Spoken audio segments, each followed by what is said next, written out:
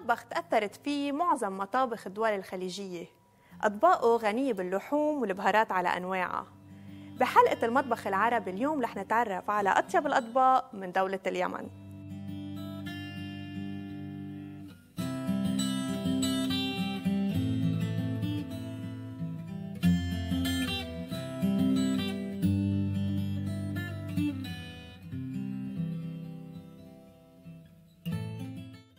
Hi شيف. Hi ملك. كيفك اليوم؟ نشكر الله. شو يا شيف؟ شو محضرنا اليوم؟ اليوم حنعمل أكل من اليمن. Okay. آه وصفات أكيد من المطبخ اليمني ننسى إنه مطبخ كثير قديم كثير عريق.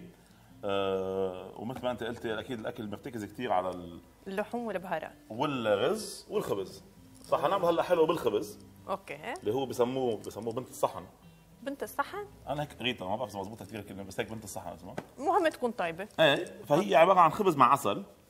حناخذ أول شيء جات نعرف إنه العسل اليمني هو من أشهر الأنواع العسل 100% صح؟ الحضرموتي. إيه من آه، وادي حضرموت. حنحط مع أنت خبرتنا إنه النحلة بتتعب لتجيب آه، العسل.